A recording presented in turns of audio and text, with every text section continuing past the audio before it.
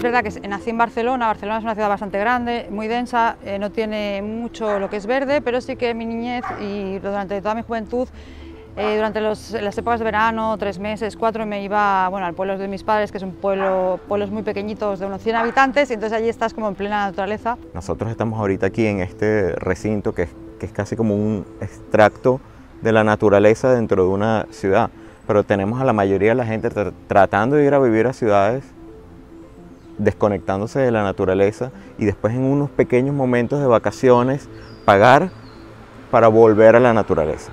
Es una desconexión total. Last year I spent 10 days uh, walking uh, on hiking trail Camino de Santiago. It's famous hiking route in Spain.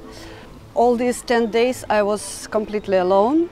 Uh, alone with nature. This is what I actually needed to reboot myself after this quarantine and all these things. Lo natural es algo bastante antinatural, más que todo por lo que estamos viviendo ahorita con el internet, ¿sabes? Es una jungla virtual, literal. I was born uh, in a very small town in Russia near the Baltic Sea.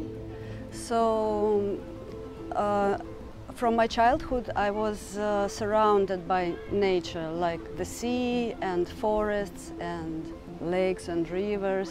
I grew up with it, and that's what laid in me this love for nature. Tengo una pequeña crianza en la que tenemos una relación simbiótica. Ella me da oxígeno y, yo, y compañía y yo le doy agua. De la naturaleza siempre ha sido una fuente de inspiración en el arte a lo largo de la historia, de diferentes formas.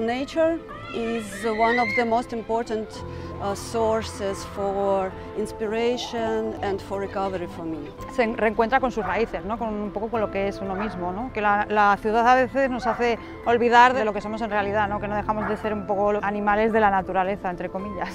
Como nosotros somos parte de ella y ella es parte de nosotros también. Me siento muy conectada con la naturaleza, me la siento vibrar, la siento y siento mucho respeto hacia ella.